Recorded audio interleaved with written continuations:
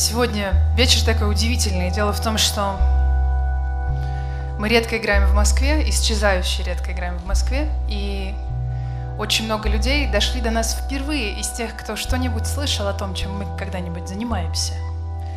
И сегодня у нас тройной или четверной экзамен, не знаю, я себя чувствую как сдающая всю сессию одновременно, потому что очень много людей, что-то смутно знавших о том, что мы как-то странно живем, пришли посмотреть, как это именно происходит. Поэтому для них, для них звучит этот текст.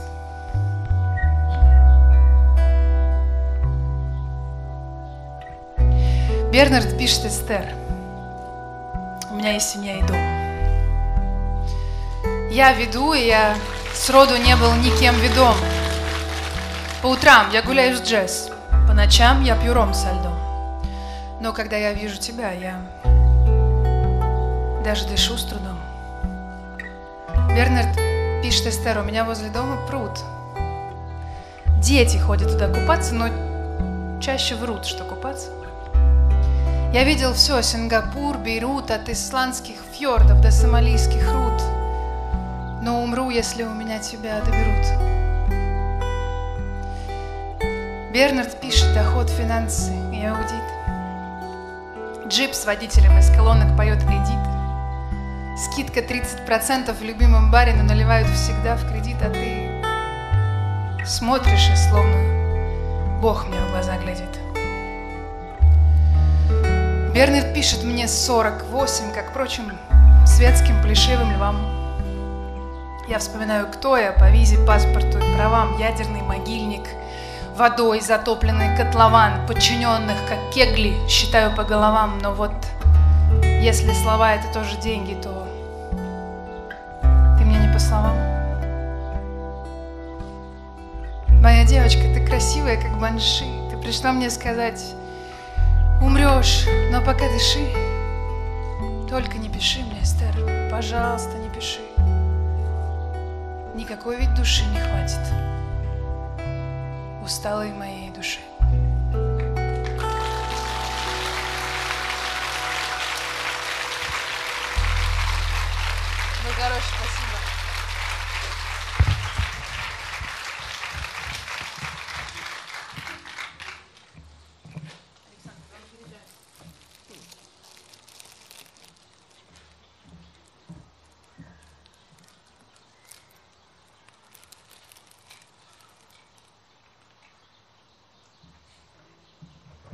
Нет, не увидимся.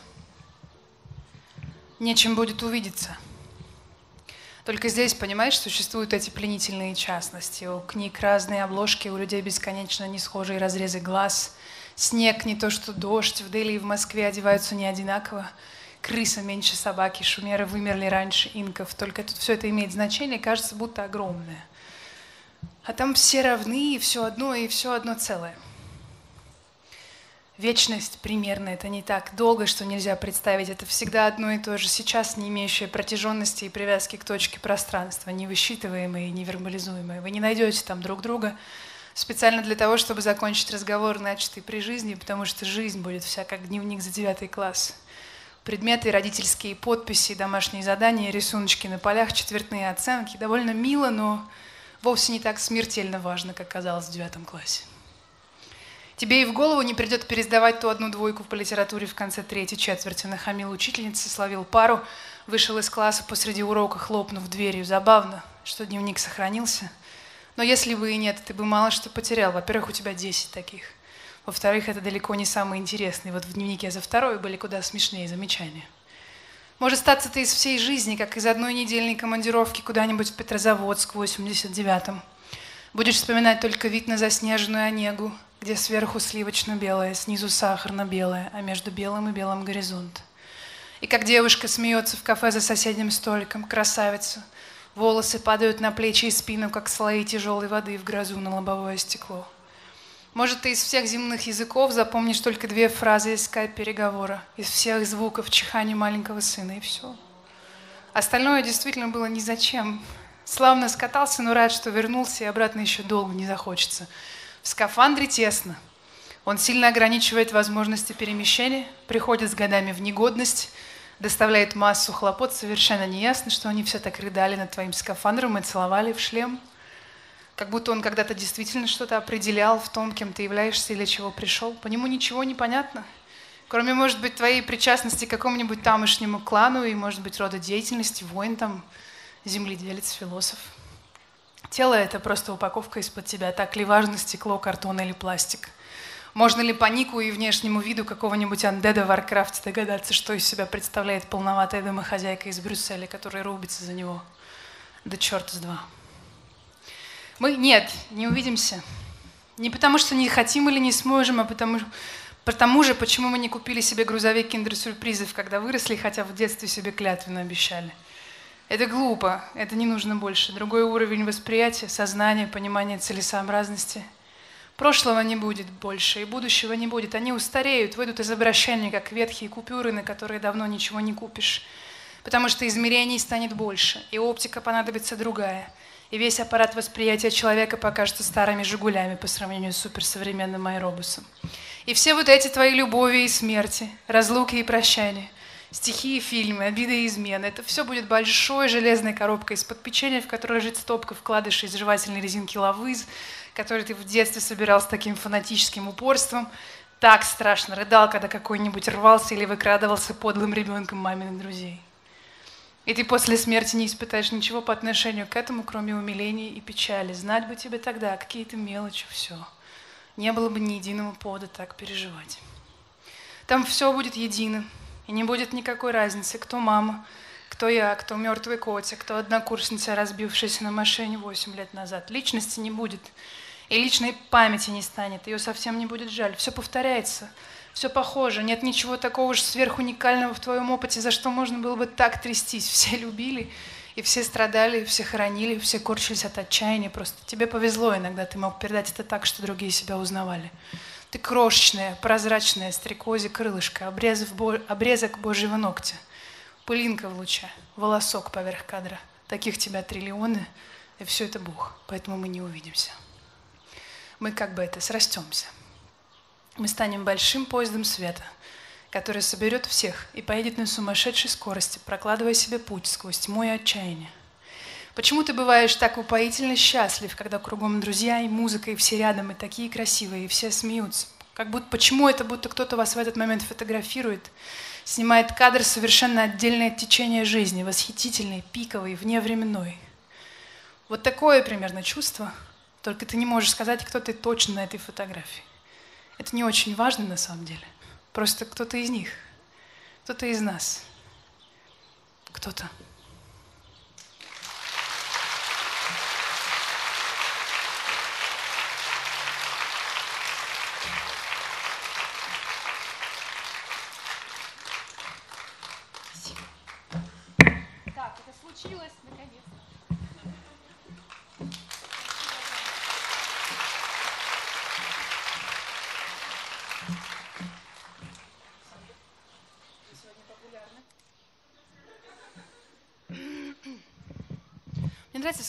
Простотой и благосклонностью Александр принимает цветы. Вообще надо учиться у него этому. Если вам что-то приносит, значит, ну, надо, надо прощать миру то, с какой горячностью он считает тебя потрясающим.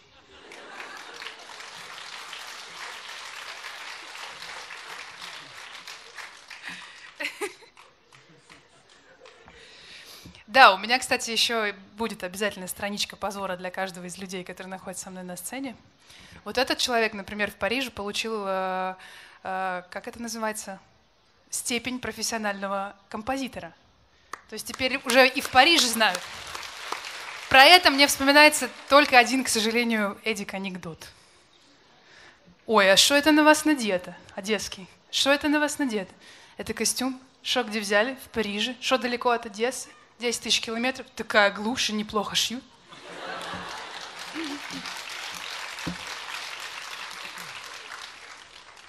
Ну что, мы проверим, мне кажется, действие закона о мате. Давно пора.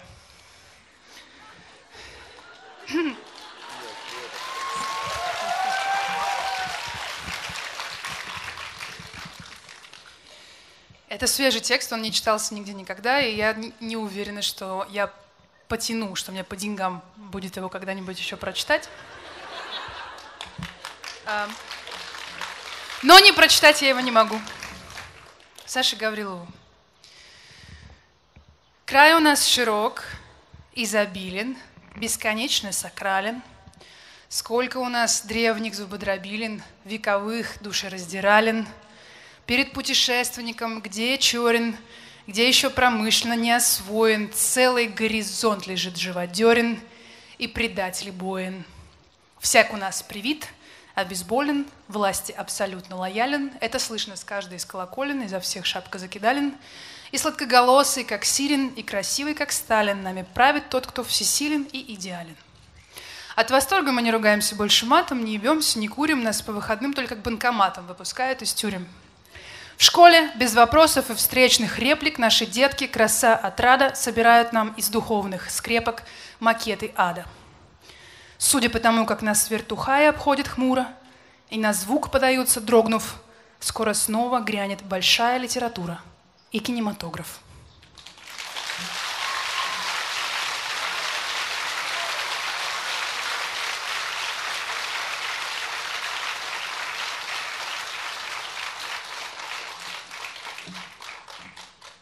Скинемся, если что.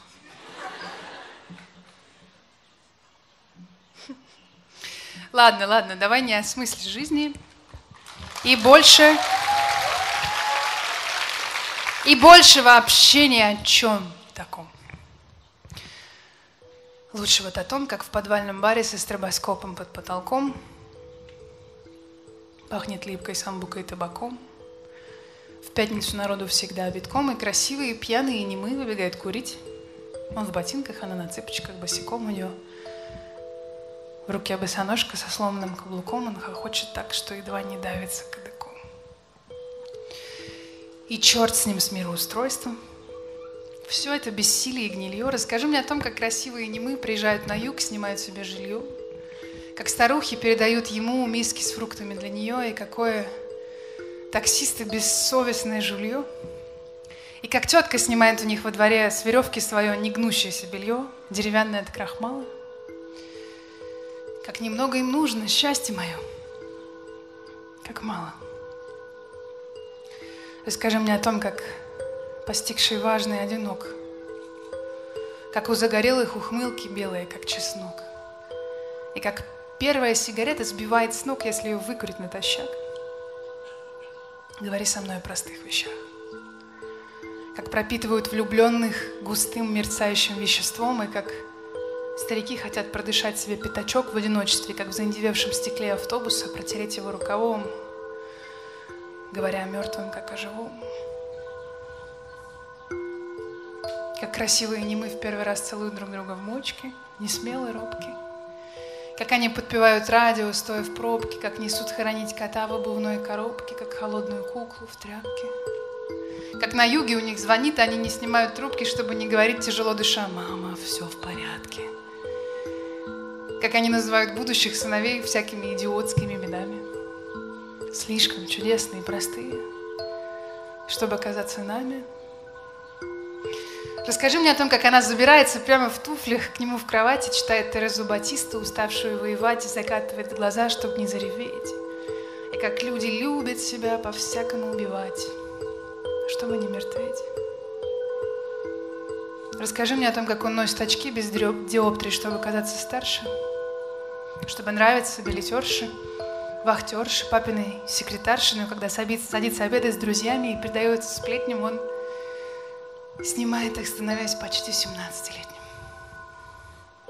Расскажи мне о том, как летние фейерверки над морем вспыхивают, потрескивают. Почему та одна фотография, где вы вместе, всегда не резкая?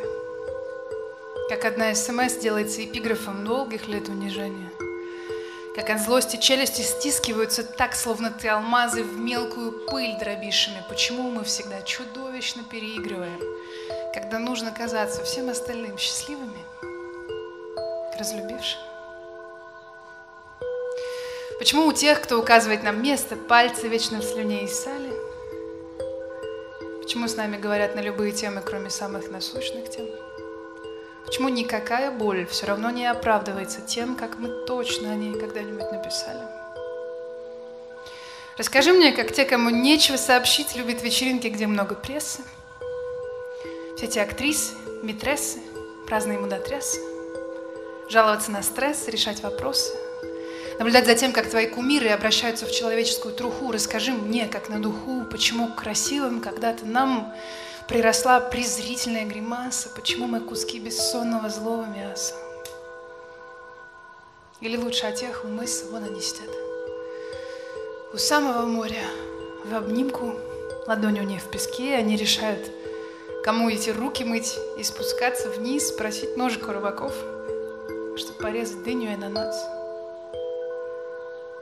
Даже пахнут они гвоздикой или анис.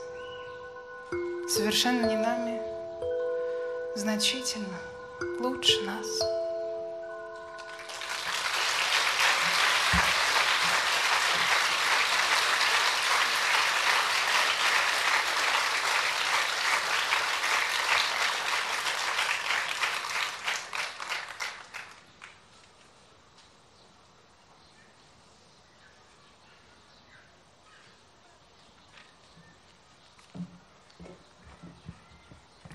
Смерть автора. Джек-сказочник намного пережил свою семью и завещал, что нажил своим врачам, друзьям и персонажам. Коту, разбойнику и старой ведьме Джу. В 5.30 к ведьме кот скребется в дверь, трясется, будто приведен под дулом. Прислали атлас звезд. Я вас найду, мол, он умер Джилл, тот, кто меня придумал, и я не знаю, как мне жить теперь. Разбойник ходит в 8.45, снимает кобуру, садится в угол. Прислали холст, ангину, тушь и уголь. Пил сутки, сроду не был так напуган и совершенно разучился спать. Старуха Джилл заваривает чай. Старинный чайник в розах, нос надколот. Он сочинил меня, когда был молод. Мстил стерве тещи. Думаешь, легко вот? Тебя лет в 40, вот и получай невроз, развод и лучший друг нарколог. Когда в больнице там был жуткий холод, он мертв, то есть прощен. Хороший повод и нам оставить всякую печаль. Старухи Джил достали словари, чтобы влезть наверх и снять с буфета плошку с «Не плачь» травой и всыпать ровно ложку в густой зеленый суп. Тарелок три – Втекает бирюзовый свет зари, Джек был эксцентрик. В мутное окошко, суп острый. Еще холодно немножко. Но в целом славно. Что не говори. Друзья, мы медленно, двигаясь с севера через запад, добрались наконец до юга. Возможно, вы слышите это по характерному звуку прибоя. Вот он не звук прибоя, это дождь флейта.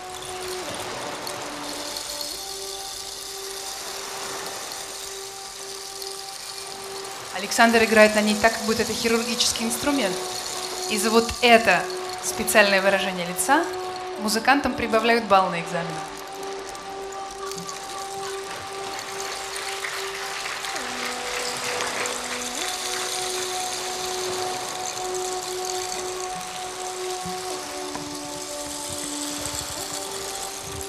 Соло.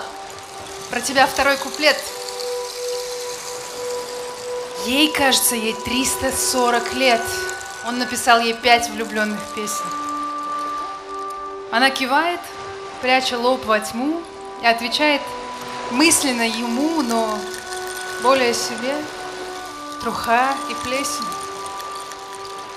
Он зной, зорница, певчее дитя, он, кажется, ликует – обретя в ней дух викторианского романа, и поцелуи с губ его текут, как масло ги, как пение, как лоскут соленого слоистого тумана.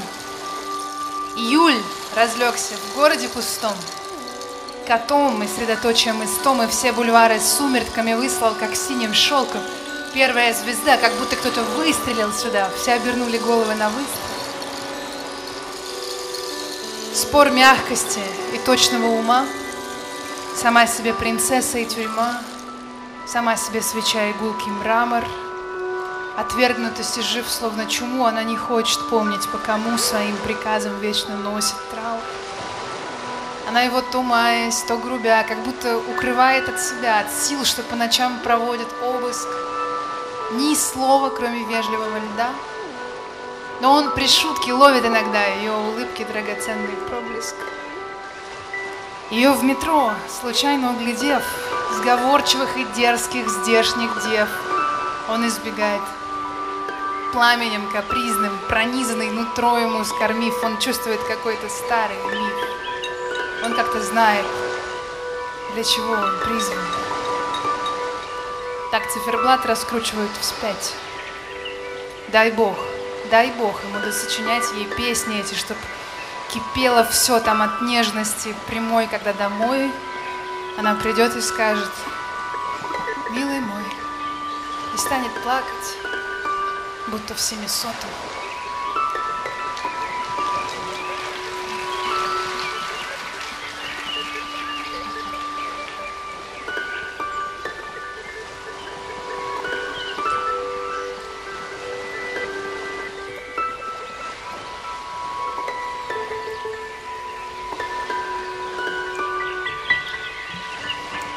Открывается вдруг горная гряда. Разгадка, скважина, все доводы поправ, ты возник и оказался больше правды. Необходимое словно было всегда. Ты область, где кончаются слова. Ты детство, что в потьмах навстречу вышла. Клеенка, салки, давленная вишня, щекотка, манка, мятая трава. Стоишь, бесспорен, заспанный, влюбленный, смотришь так, что радостно и страшно. Как жить под взглядом, где такая яшма? Крапива, малахит, кукушкин, лен. Я не умею этой прямоты и точной нежности, пугающей у зрячих, и я сую тебе в ладони, прячу в пакеты, страхи, глупости, цветы, привет. Ты пахнешь берегом реки, под лунным, летним, в молодой осоке. Условия, экзамены и сроки друг другу ставят только дураки.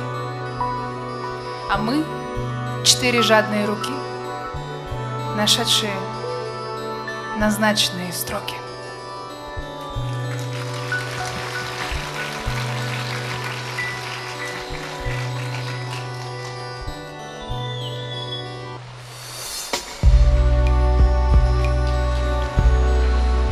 Почему-то людям, которые поедают мороженое и там лежат, завидуешь так.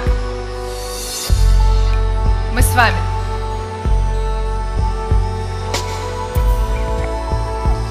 Летние любовники, как их снимал Билайн или Винтерботом. Брови, пух над губой, ямку между ключиц заливает потом. Жареный воздух, пляшущий над капотом старого кадиллака, которому много вытерпеть довелось. Она движется медленно, чуть касаясь губами его лица, самой кромки густых волос. После полуденной сытой зной, раскаленный хром, отдаленный ребячий гогот, тротуары, влажные от плавленного гудрона и палых ягод, кошки щурят глаза, ищут тень, где они прилягут.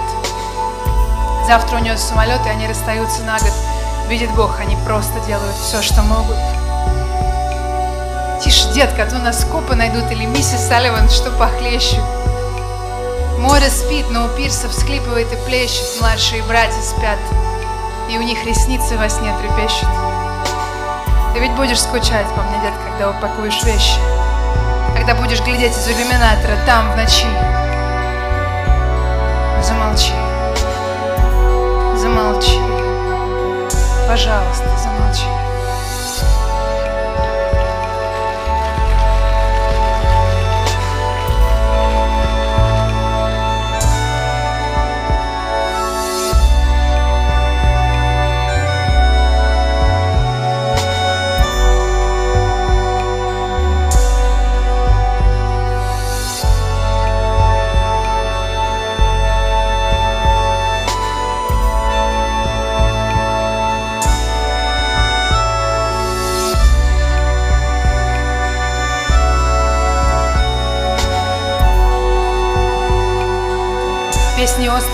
буду.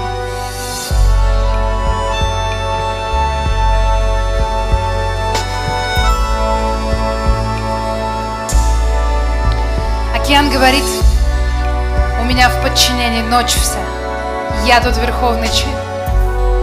Ты быстрее искорки, менее древоточца, не знаешь принципов и причин. Сделай милость, сядь и сосредоточься, а то и вовсе не различим. Сам себе властитель, проектировщик, военный лекарь, городовой, ни один рисунок, орнамент, росчерк не повторяя случайный свой. Кто не знает меры, и тот, кто ропщет, в меня ложится вниз головой. Ну а ты со сложной своей начинкой, гордыней бариной связующего звена, Будешь только белой моей песчинкой, поменьше рисового зерна. Чтобы я шелестел по краю и был с горчинкой, и вода была ослепительно зелена.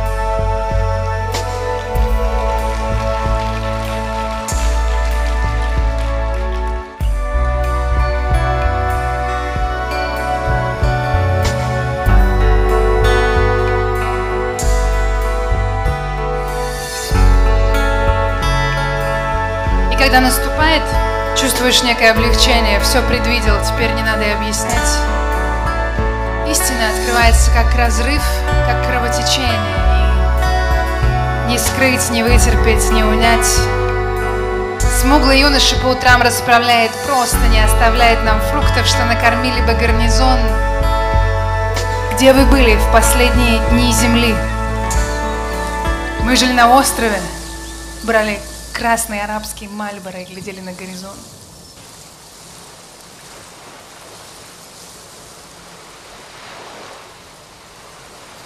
Об исчерпанной милости Мана узнает потому, как вдруг пропадает крепость питья и курева, и вокруг резко падает сопротивление ветра, и лучший друг избегает глядеть в глаза, и растет испуг от того, что все сходит с рук. Первый день Ману празднует безнаказанность, пьет до полного забытия, пристает к полицейским с вопросом, что это за статья. В третий Ману не признают ни начальники, ни семья, на шестой ему нет жития. Ну, я понял, я утратил доверие, мне теперь его возвращать. Где-то я сложал, ты рассверепел, и ну меня укращать. Ну, прекрасно, я тебя слушаю, что мне нужно пообещать? Да я просто устал прощать.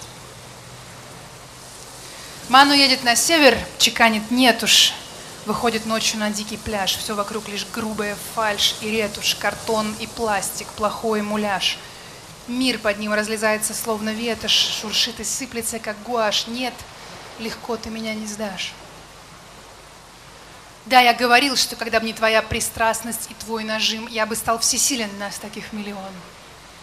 Я опасен, если чем одержим, и дотла ненавижу – если я уязвлен, но я не заслужил, чтобы ты молчал со мной, как с чужим, городил вокруг чертов съемочный павильон, не такой уж я гнилье. Где ты, Ману? А где все демоны, что орут в тебе в разнобой? Сколько нужно драться, чтобы увидеть, что ты дерешься с самим собой? Поезжай домой иди по прямой до страха, и через него насквозь, и тогда ты узнаешь, как что-то тебе далось. Столько силы, Ману, и вся на то, чтобы только не выглядеть слабаком, только не довериться никому и не позаботиться ни о ком. Полежи покоренный, без оружия в ладони берега, голышом, и признайся с ужасом, как это хорошо. Просто, как тебе хорошо.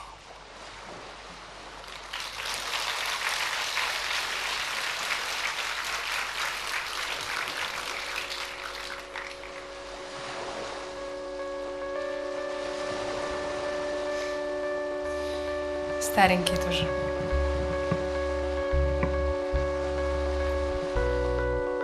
Друг друга вы с реками и лесами, долинами, взгорьями, взлетными полосами. Давай будем без туристов, а только сами. Давай будто растворили нас, погребли в биноклевой мгле друг друговы корабли. Бросаться навстречу с визгом, большими псами, срастаться дверьми, широтами, адресами, тереться носами, тросами парусами. Я буду губами смугло, когда слова тебя целовать слегка в горизонте колба между кожей и волосами. В какой-нибудь самый крошечный из кают я стану день изо дня наводить уют, и мы будем слушать чаечек, что снуют вдоль палубы и сирен, что из вод поют. Чтоб ветер трепал нам челки и флаги. Ты будешь вести, а я отнимать штурвал, а на берегу салют, чтобы карнавал. Чтоб что-то брать оптом, что-то на абордаж, Чтоб нам больше двадцати ни за что не дашь, А соль проедает руки до мяса аж. И профилем в синь, а курсом на юга юг. Чтоб если поодиночке, то всем каюк, Чтоб двое forever young, расторопных юнг, И каждый задира без баловник небес На шее зубец, акулей, но можно без, И каждый влюбленный злой молодой балбес подзорной трубе пунктиром едва-едва друг друговые острова. А Бог будет старый боцман, гроза морей, Дубленый литой в наколках из якорей, Молчащий красноречивый, как Билл Мюррей, Устроенный, как герой. Мы будем ему отрадой такой игрой, Дельфинов или китята где-то у кормы, И кроме воды и тьмы нет другой тюрьмы, И нету местоимения, кроме мы. И трюмы заполнив хохотом, серебром, дождливым московским, всяким таким добром. Устанем, причалим, сядем к ребру ребром и станем тянуть сентябрь, как темный ром, и тихо теплеть нутром. И луня ладонь ощупает нас строга, друг друговы берега. И вечер перчен будет, как суп харчо, таким, чтоб в ресницах колко и горячо, и боцман Легонько стукнет тебя в плечо До скорого, брат, попутных вернись богатым. И бриз в шевелюре будет гулять и гриф И будет на завтра ждать нас далекий риф Который пропорит брюхо нам, обогрив Окрестную бирюзу нами, как закатом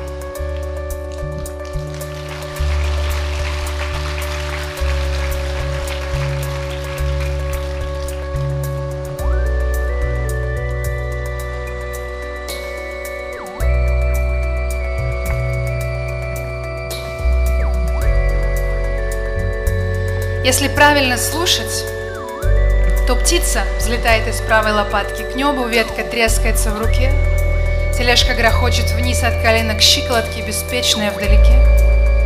Мысль о тебе раскаленная идет через лоб и пульсирует на виске.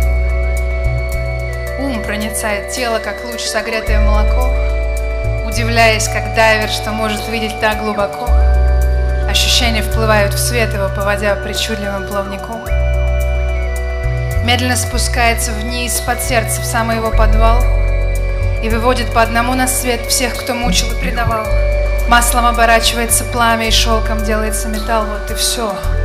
Чему я училась, пробовала нити, разбирала за прядью прядь, трогала проверочные слова к состояниям и выписывала в тетрадь, изучала карту покоя, чтобы дорогу не потерять. Вот и все мое путешествие.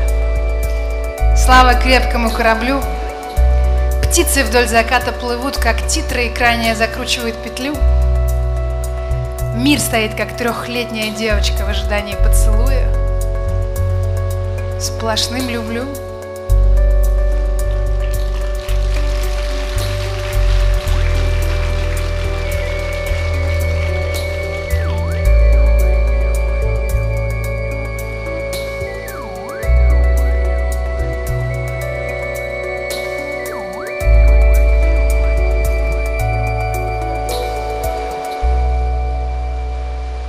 Попробуй съесть хоть одно яблоко.